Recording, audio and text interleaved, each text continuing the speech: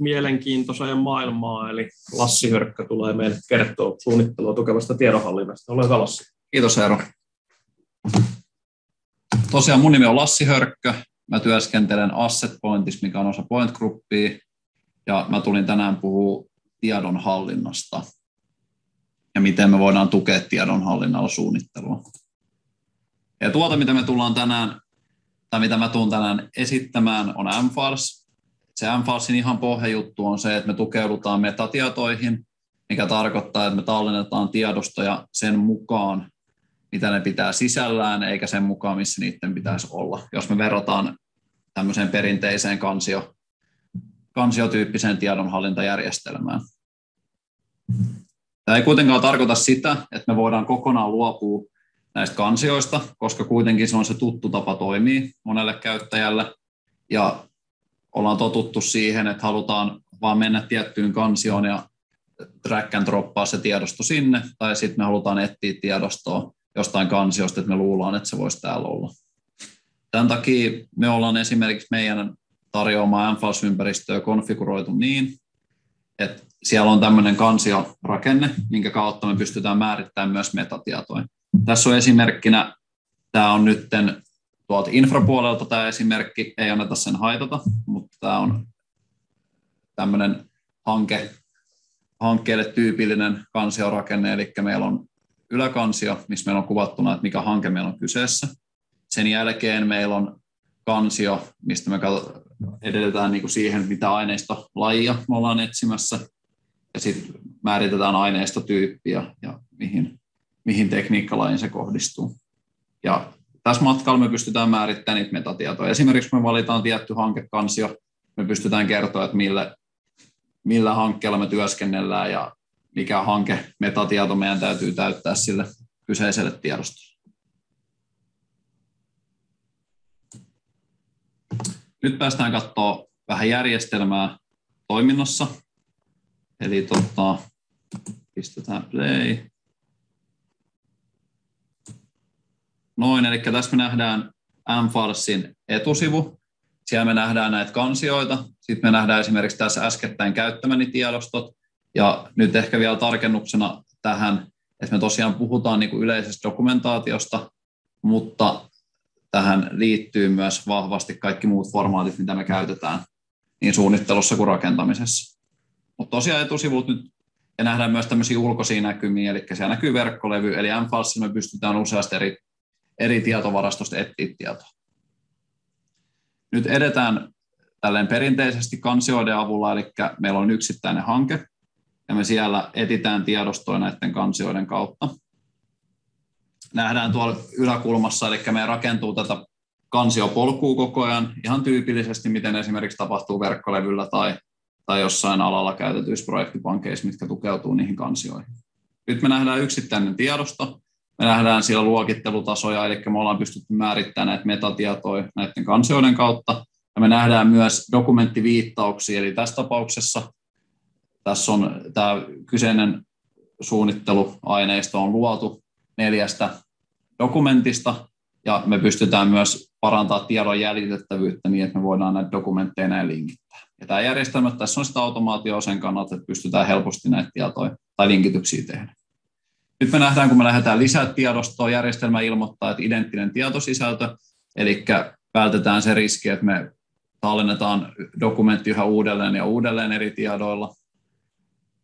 Ja sitten huomataan, että nyt me käytännössä vaan nimetään, määritettiin yksi metatieto ja nimetään tämä tiedosto, ja muuten tämä järjestelmä on automaattisesti nämä metatiedot täyttänyt näiden kansioiden avulla. Ja nähdään tämän tiedoston nämä metatiedot. Sitten päivitettäisiin tälle tiedostolle uusi versio, eli track and dropataan siihen päälle. Tässä kohtaa se ei kysy enää meiltä mitään metatietoja, eli tiedostojen lisääminen hyvin, hyvin tyypillistä. Sitten päästään katsomaan versiohistoriaa, eli versiohallinta on hyvin helppoa M-Falsissa. Kaikki edelliset versiot säilyy ja me pystytään myös vertaamaan tässä näytetään nyt se, että mitä me voidaan verrata edelliseen version tiedostoon. Nyt MFS avaa meille näkymän, missä me verrataan näiden kahden PDF-tiedoston sisältöä. Ja MFS merkkaa meille nyt ne, mitkä eroavaisuudet on. Samalla jos me oltaisiin jostain kädikuvasta tehty tuloste, me pystyttäisiin katsoa kahden eri tai saman kuvan, mutta kahta eri revisiota voitaisiin vertailla, että mitä eroa niissä. Sitten hyväksyntäkiertoon, eli MFASissa pystytään myös digitaalisesti käsittelemään tiedostoa. Nyt siirretään esimerkiksi joku tiedosto laadunvarmistukseen, minkä jälkeen sitten me pystytään hyväksyä tai hylkäämään tämä kyseinen tiedosto. Ja näistä jää kaikista jäl- jälkeen, että kuka on hyväksynyt ja milloinkin. Siinä ehkä tämä, miten toimitaan perinteisesti kansiolla, mutta se MFAS, miten me parannetaan sitä tiedon löydettävyyttä, niin MFASissa on hyvin Google-mainen haku, eli me pystytään etsiä tiedostoja vapaa-sanahaulla. Jos vertaa tätä nyt siihen, että miten verkkolevyllä, jos etsitään siellä tiedostoja hakemalla yhdellä sanalla, niin siinä kestää huomattavasti kauemmin kuin mitä täällä. Nyt tässä näytetään esimerkiksi, mä etin verkkolevyltä MFalsin kautta tiedostoa. Me voitaisiin tuoda tänne myös esimerkiksi Sarepointti tai Google Drive tai vastaavia tuotteita. Sitten nähdään vapaa-sanahaku. Me löydetään 105 dokumenttia. MFALS on etsinyt dokumentin nimestä, myös metatiedoista, mutta myös tietosisällöstä. Eli nyt me nähdään esikatselun kautta. Eli tämä kyseinen tiedosto on löytynyt siitä syystä, että täällä Excel-failin sisällä on tuo pohjasana mainittu. Pystytään myös rajaamaan näitä hakuja, eli nyt mä olen täyttänyt tuohon viimeksi muokannut ja laitan siihen Laukkasen Janin, niin nyt mä löydän tuolla hakusanalla ja sitten tuolla metatiedolla tiedosta. Mä voin myös etsiä ilman hakusanaa käyttäen ainoastaan metatietoa. Mä haluaisin esimerkiksi etsiä, että millä joku tietty projekti ja mitä toi Jani nyt on viimeksi projektilla tehnyt. Ja tässä nähdään, että no viimeksi Jani on, tai Jani on sinne yhden tiedoston lisännyt tuolle kyseiselle hankkeelle, mutta se hanke voi toki olla, myös olla projektiin meillä. Sitten me pystytään myös tekemään metatietojen ansiosta aineistoluovutuksia automatisoidusti, eli tässä lähdetään nyt luovuttamaan aineistoa. Me voidaan tehdä se hankekohtaisesti, tai sitten jos meillä on esimerkiksi metatietoina tuolla joku tietty rakennus, me voidaan luovuttaa kaikki aineisto liittyen esimerkiksi yhteen rakennukseen.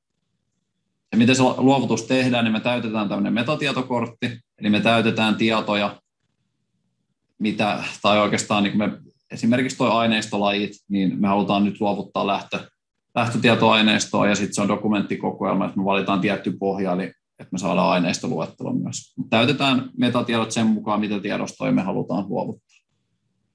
Nyt nähdään, mä menin edellisistä tiedostoista, löysin helposti sen mun äsken tekemän luovutuksen.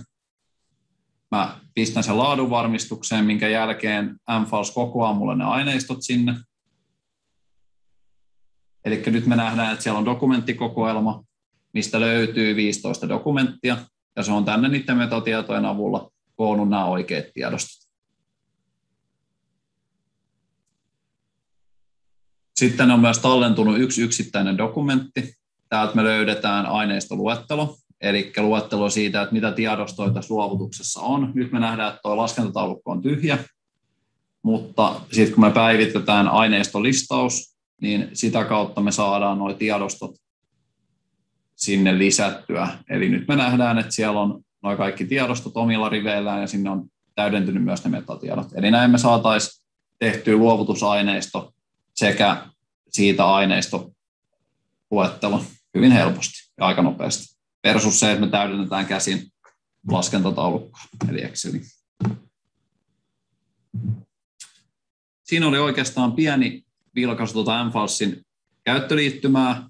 Nyt tässä ajassa me ei ehditä käymään läpi sitä, että miten me esimerkiksi AutoCAD-kuvia, miten me hallitaan referenssiviittauksia täällä MFALSissa – MFAS pystyy myös siihen tuottaa huomattavaa lisäarvoa, eli me pystytään pitää huoli siitä, että kaikki referenssikuvaviittaukset aina päivittyy automaattisesti siihen pääkuvaan, ja me myös nähdään täällä MFASin näkymässä, että jos me katsotaan sitä pääkuvaa, niin ilman, että me avataan se AutoCAD, niin me nähdään, nähdään että mihin tiedostoihin viittaukset on tehty. Ja jos tämmöistä haluaa päästä katsomaan, niin meillä on torstaina MFAS-tapahtuma, vähän laajempi löytyy itse asiassa Civil Pointin, mikä on osa Point Groupia, sieltä verkkosivuilta, sieltä tullaan näitä asioita demoamaan. Siellä on, käytetään infraesimerkkejä, mutta varmasti niin kuin vastaavia haasteita ja ongelmia, mitä näytetään, niin, tai ratkaisuja tietenkin näihin haasteisiin ja ongelmiin, niin vastaavat asiat varmasti pätee myös talopuolella. Sitten ehkä yksi esimerkki vielä, eli nyt näytettiin niin kuin ihan vain metatietoa, mutta mitä nämä metatiedot voi myös olla, niin me voidaan luoda kohderekisteriä. Eli me voidaan tuonne järjestelmään luoda esimerkiksi yhteenrakennukseen liittyvät kaikki laitteet ja kohdentaa dokumentaatio näillä laitteilla. Ja hierarkioiden avulla me pystytään myös määrittämään niin, että meidän ei tarvitse ihan näitä kaikkia tietoja aina täyttää, vaan esimerkiksi kun me tallennetaan tiedosto ja tiedetään joku oikea laitetunnus, niin me pystytään siltä laitteelta sit periyttää tietoja, eli me, se laite itsessään tietää, mihin huoneeseen se kuuluu ja mihin kerrokseen, ja kerros tietää, että missä rakennuksessa hän on. Eli näin pystytään sitten periyttämään niitä tietoja. Yhdeltä metatiedolta tai yhdestä metatiedosta voidaan johtaa useampi metatieto. Niin taas, että kun se käyttää lisää tiedostoa, niin sen ei tarvitse kymmentä täyttää, vaan sille riittää, että se täyttää kolme. Sitten vielä ehkä viimeinen kalvo, tämmöinen summaava. Eli nyt ollaan MFAS-tuotetta esitetty, niin tuossa tosiaan nähdään niin ihan mikä tahansa prosessi ja mikä tahansa asennus, mutta se mitä me halutaan build pointtina ja point groupina tuoda tähän lisäarvoa on se, että, että meillä on asiantuntijuutta Trimplen, Solibrin, Autodeskin softiin, ja on hyvin tärkeä osa tiedonhallintaa se, että me pystytään näitä suunnittelujärjestelmiä hyödyntämään, ja totta kai nämä kaikki erilaiset tiedostoformaatit, mitä tulee esimerkiksi Solibrista, tai ne tiedostoformaatit, mitä me käsitellään Autodeskin tuotteella, niin meidän pitää pystyä näitä hallita, ja nämä tiedostoformaatit tuo toki myös aina omat haasteensa, mitä me sitten pyritään taklaamaan. Eli se meidän lisäarvo, mitä me tuotetaan, on se talosuunnittelun ja rakentamisen toimialan osaaminen ja suunnittelu- ja rakentamisen ohjelmistojen tunteminen. Ja toki pystytään näihin tarjoamaan tukia koulutuspalveluita ja pystytään myös takaa vähän nopeampi käyttöönotto, kun meillä on jo valmiiksi vähän määritetty ympäristö, eikä lähdetä ihan tyhjästä määrittelemään, vaan tunnetaan ne toimivat prosessit, mitä me voidaan sitten asiakkaille tarjota. Kiitos. Tässä kohtaa katsotaan kysymykset. Kiitoksia Lassi. Ja semmoinen kysymys on tullut, että m on toki pilvipalvelu, mutta vaatiiko se jotain asennuksia? m on kolme käyttöliittymää, eli meillä on mobiili, totta kai se vaatii sitten mobiiliasennuksen. Sitten meillä on klientti, eli tämmöinen desktop-appi, mikä pitää asentaa se oikeastaan soveltuu parhaiten niille käyttäjille, jotka esimerkiksi käyttää näitä suunnitteluohjelmistoja. Se vaaditaan siinä kohtaa, kun me esimerkiksi käytetään AutoCADia ja MFalsia niin yhdessä. Mutta muuten, sit jos me puhutaan ihan vain tiedostojen etsimisestä, hakemisesta, tallentamisesta, niin siihen soveltuu hyvin tämä web-käyttöliitto. Eli siinä kohtaa ei sitten tarvita mitään erillisiä asennuksia. Ja nopeuttaa myös huomattavasti käyttöön. Hyvä juttu. Kiitoksia Kiitos. Lassi. Ja sitten voitaisiin